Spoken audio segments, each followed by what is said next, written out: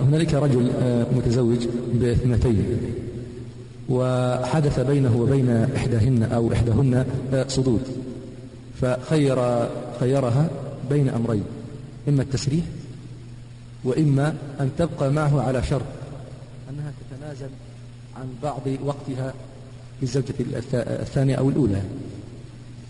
لا حرج في هذا. لا حرج؟ لا حرج. أن يقول أنا لا أستطيع العدل بينكما. نعم. فإن شئت أن تبقي على ما على ما أنا عليه وإلا فأنا أطلقك فله ذلك. ودليل هذا أن سودة بنت زمعة رضي الله عنها كانت كبيرة السن فشعرت أن النبي صلى الله عليه وسلم سيطلقها.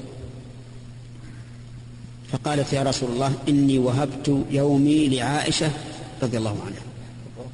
وهبت يومها لعائشة كان الرسول صلى الله عليه وسلم يقسم لعائشة يومين. يومها ويوم سودة.